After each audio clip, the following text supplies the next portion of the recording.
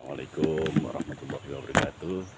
Saat ini saya akan menuju ke Janggelangan Ini situasinya jalannya semacam ini nih.